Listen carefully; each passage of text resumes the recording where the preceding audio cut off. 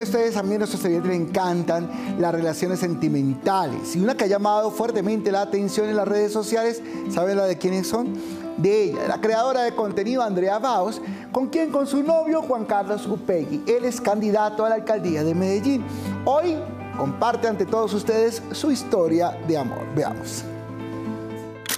Yo realmente hacía algunos videos mostrando bibliotecas de Medellín, que me encantan las bibliotecas, los lugares culturales de Medellín y que había que no los mostraban tanto. Nos unió como el interés por los libros. Sí. Bueno, a partir de ahí hemos tenido una relación muy bonita. Yo quiero que la gente vea a Juan con mis ojos, porque si lo ven con mis ojos se van a enamorar de él como yo lo estoy. No hemos tenido una relación completamente normal porque todas estas cosas de liderar y de estar en, campaña pues generan eh, sobre todo pues afectaciones al tiempo de la relación.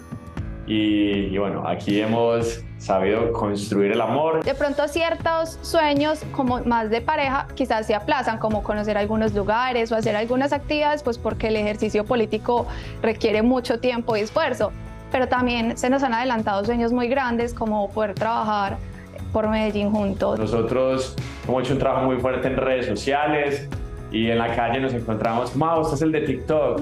Ay, Andrea, yo la he visto, Andrea. ¿Dónde está Andrea? Yo la quiero comprar. ¿Y cómo te visualizas tú, Andrea? Lo más relevante es poder responder a esas necesidades de la gente, eh, lo que nos dicen las personas, los comedores comunitarios, la IPS para mascotas, todo lo que la gente nos ha dicho es algo en lo que nosotros creemos y por lo que sabemos que hay que trabajar sea, si a mí una persona me dice, yo no tengo para pagarle el tratamiento a mi perrito, ayer justo se nos acercó otro niño y nos dijo, se me perdió el perrito, ayúdenme con sus redes para encontrarlo.